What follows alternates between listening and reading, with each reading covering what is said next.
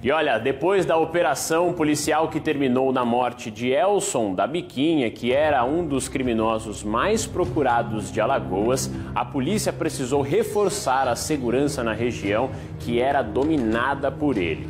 Para falar sobre esse assunto, eu recebo agora o nosso especialista em segurança, Stael Santos.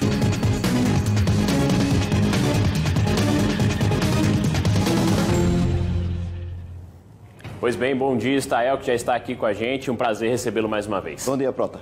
Vamos começar essa semana falando desse caso. A gente, na semana passada, falou da operação que terminou no confronto com o Elson da Biquinha, que ele faleceu. Exato. Falamos também dos reflexos dessa investigação até localizá-lo. Mas, normalmente, quando há prisão de uma pessoa que dominava o tráfico na região, depois acontece, inclusive, essa disputa pelo comando pelo território, Exatamente não é isso, Stael? Exatamente isso. É, volto a desejar bom dia, bom dia a todos. Então é um fenômeno conhecido, né? A briga território entre as facções, tá? Então é, aqui noticiamos a neutralização, né, depois de um confronto policial do Elcio da Biquinha, isso aconteceu na terça-feira, dia 22. Na quinta-feira, nas primeiras horas de amanhã, uma jovem foi encontrada morta lá no município tá? E também na mesma, no mesmo dia à noite, um outro jovem foi assassinado.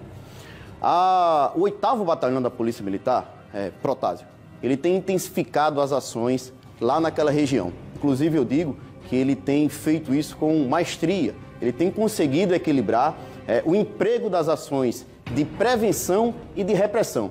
Essas imagens é, que acabamos de ver foi uma ação que aconteceu uma operação policial que aconteceu na tarde da última sexta-feira, Protásio. Tá? Então, é, volto a dizer, o oitavo batalhão da Polícia Militar ele tem conseguido harmonizar, empregar de forma equilibrada a prevenção e a repressão. E assim foi feito na última sexta-feira, tá? Enquanto as, as guarnições ostensivas elas patrulhavam a região, Protásio, é, agentes da chefia de prevenção e também da chefia de ensino da Secretaria de Segurança Pública do Estado, também agentes é, da Superintendência de Políticas de Drogas da CEPREV, eles batiam de porta em porta em toda a comunidade da Biquinha e também do Cacaú, é, Protásio. A intenção, e isso foi é, é, feito de forma diferenciada, se assim eu posso dizer, foi levar a segurança pública na porta do cidadão.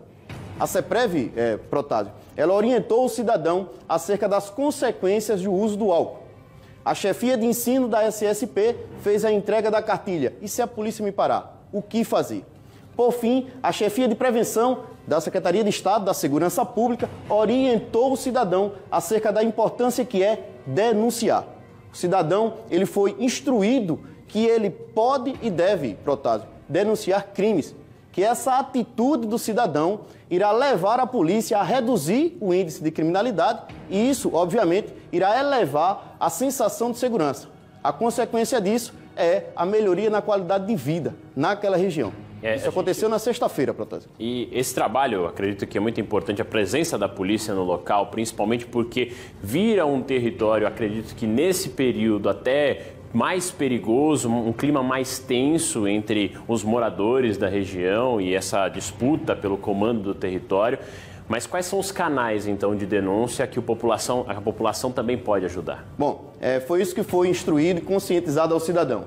Ele pode e deve ligar para o Disque Denúncia, tá? O Disque Denúncia, ele, ele opera por meio da ligação telefônica ou até mesmo pela internet tá bom? Então o cidadão ele pode fazer a escolha de ligar para o número 181 ou ainda ele pode denunciar pela internet ou ainda ele pode é, fazer a escolha de baixar o aplicativo Disque Denúncia AL no seu smartphone. Esse aplicativo está disponível na, na, no sistema Android. Então ele terá total segurança. Volto a dizer, o cidadão ele pode e deve denunciar.